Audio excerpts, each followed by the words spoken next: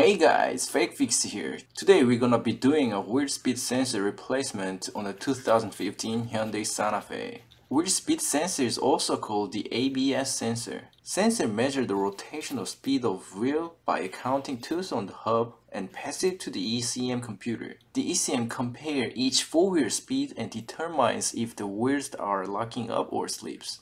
So if one of speed sensors is working, ABS, stability control and down downhill brake control will not be working properly. As you can see I got three lights at the same time. Let's scan the code to make sure which sensor making a trouble. I got the code C1208 and it means no signal on the rear left wheel. The genuine part shop does not sell sensor alone, it's sold in hub assembly and it's over $300 include tax. But if you don't need new bearing and hub, you can find sensor alone on the eBay. So let's begin. Check up the vehicle.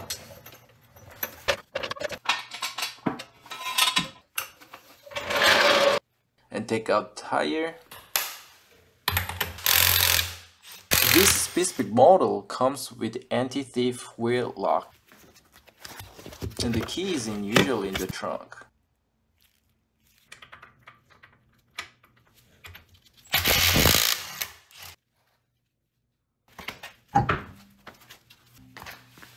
Now all you have to do is remove the caliper, mounting bracket and the rotor.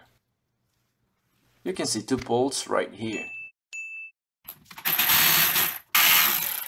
After that comes off, we will place that to the side, then take off a pair of brake pads.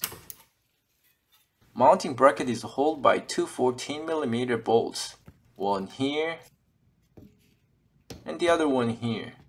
The low arm bushing blocking it, so you have to have 14mm offset wrench. And then remove the rotor.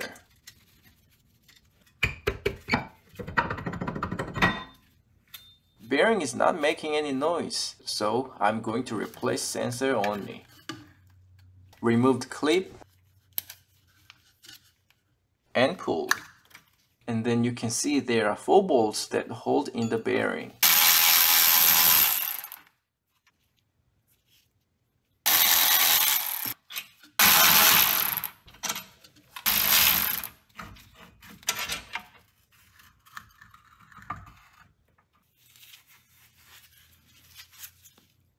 Let's check the sensor with multimeter.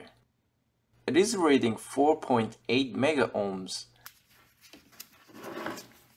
On the other hand, brand new sensor reading 400 kilo ohms, which means the old one has open circuit in the sensor.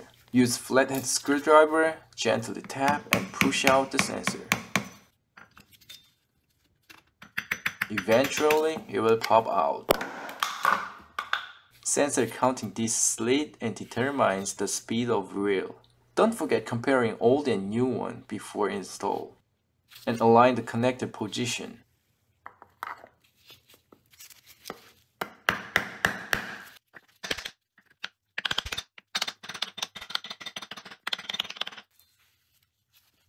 Make sure no gaps between hub and sensor. Now we are ready to put them back together.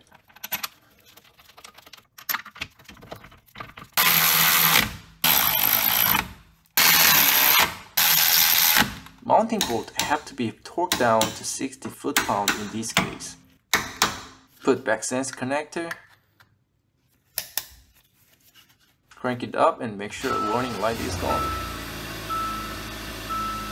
Great! Now I can reassemble it with confidence.